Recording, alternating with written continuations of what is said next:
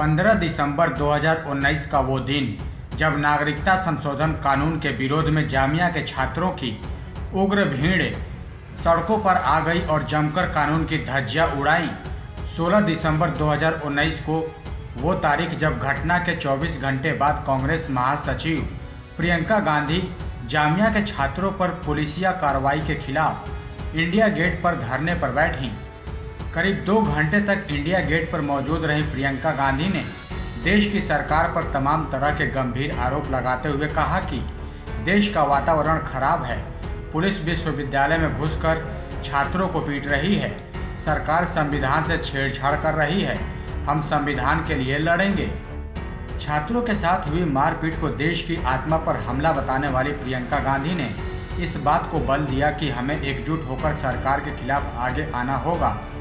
बात जामिया प्रदर्शनकारियों के समर्थन में आने वाली प्रियंका गांधी और दो घंटे तक चले उनके। धरने की हुई है तो बता दें कि प्रियंका गांधी के साथ धरने पर पूर्व रक्षा मंत्री A K Antony, P L Punia, Ahmed Patel और अंबिका सोनी भी मौजूद थे।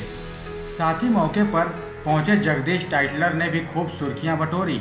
नागरिकता संशोधन विधेयक के खिलाफ टाइटलर की उपस्थिति इसलिए भी दिलचस्प है क्योंकि उन पर सिख दंगों का आरोप है कि कभी इन्हीं आरोपों के कारण इन्हें राहुल गांधी के मंच से हटा दिया गया था। एक फॉर्मेलिटी के तहत प्रियंका गांधी का आना थोड़ी देर बैठना, केंद्र सरकार पर आरोप लगाना और तुष्टिकरण की राजनीति को अंजाम देते हुए चले जाना कहानी यहाँ खत्म नहीं हुई है, बल्कि कहानी की शुरुआत ही यहीं से हुई है।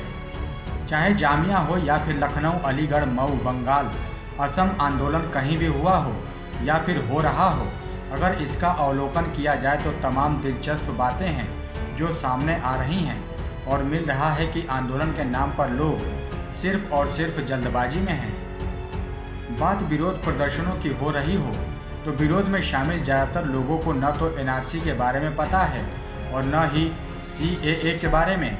साफ़ है कि देश भर में आंदोलन के नाम पर उग्र तांडव कर रही भीड़ के एजेंडे में एक बिखराव है, एक भटकाव है यानी केरल में सीएए का विरोध कर रहे लोगों का एजेंडा कुछ और है, जबकि जामिया और एएमयू में प्रदर्शन कर रहे लोगों का एजेंडा कुछ और है। ऐसा ही कुछ मिलता जुलता हाल लखनऊ और मऊ का भी है। सीएए के नाम पर चल रहा विरोध दिशाहीन है। साथ ही इसमें नेतृत्व का अभाव तो है ही। लोग ये तक नहीं समझ पा रहे हैं कि आखिर जो बातें हो रही हैं, वो किसके बारे में है? असल में मुद्दा क्या है? ध्यान रहे कि CAA और एनआरसी के विरोध में दिल्ली से लेकर दक्षिण तक पूरा उत्तर पूर्व जल रहा है। विरोध के नाम पर आंदोलन की आग में कूदकर लोग अपने राजनीतिक स्वार्थ पूरे कर रहे हैं और एक भ्रम की स्थिति बनी हुई है। बात कांग्रेस और प्रियंका गांधी के जामिया छात्रों को प्रदर्शन देने से शुरू हुई है। ऐसे में हमारे लिए ये बताना बहुत ज़रूरी है कि आज कांग्रेस की नीतियाँ और रवैया देश की जनता से छुपा नहीं है। चाहे 2014 का चुनाव रहा हो या फिर 2019 का चुनाव, जो इस देश ने कांग्रेस के साथ किया, शायद ही आज पार्टी इस गम से उभर पाई है। ऐसे में अब प्रियंका का आगे आना और दो घंटे तक सीएए और एनआरसी को लेकर सरकार की आलोचना करना कहीं से भी कांग्रेस के लिए फ़ायदेमंद नहीं है।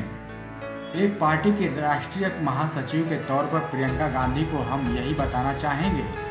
मुस्लिम तुष्टिकरण के नाम पर कांग्रेस आज भले ही मैदान में हो, लेकिन आने वाले वक्त में उसका ये समर्थन उसके गले की हड्डी भी बनने वाला है। हम ऐसा इसलिए कह रहे हैं क्योंकि देश में एक बड़ा वर्ग ऐसा है जो सी और एनआरसी को लेकर देश की सरकार के साथ कंधे से कंधा मिलाकर खड़ा है। साथ ही इस वर्ग ने विरोध के नाम पर पूरे देश में चल रही इन हिंसक गतिविधियों पर पैनी नज़र बना रखी है। वो उसे चुपचाप देख रहा है। ज़ाहिर सी बात है, आज जो भी देश में चल रहा है, जिस तरफ़ विरोध के नाम पर सरकारी संपत्ति को नुकसान पहुँचाया जा रहा है, ये किसी को भी पसंद नहीं आ रहा। अब अगर प्रियंका कांग्रेस या फिर राहुल गांधी इस वर्ग के लिए सामने आए हैं तो कुछ कहने और बताने की ज़रूरत नहीं है। अब आते हैं CAA और एनआरसी पर मचे सियासी गतिरोध के बाद भाजपा पर। आज कोई अगर ये कहे कि इस विरोध प्रदर्शनों से भाजपा डर गई है, या फिर इससे वो बैकफुट पर आ गई है तो ये समझने वालों की बड़ी भूल है। सही मायनों में अगर इन विरोध प्रदर्शनों से सबसे ज़्यादा फ़ायदा किसी को मिल रहा है तो वो भाजपा के अलावा कोई और नहीं है। कह सकते हैं कि विरोध के नाम पर पूरे देश में उत्पात मचाए लोगों ने वही कर दिया जो भाजपा चाह रही थी। कोई बड़ी बात नहीं है कि आने वाले वक्त में सिर्फ़ यही मुद्दा बीजेपी के लिए वोट की सौगात लेकर आए और उसके बाद कांग्रेस उस मुकाम पर पहुँच जाए जहाँ से वापस आने में कांग्रेस या यूँ कहें कि, या यूँ कहें कि प्रियंका और राहुल को कई दशक लग जाएँ।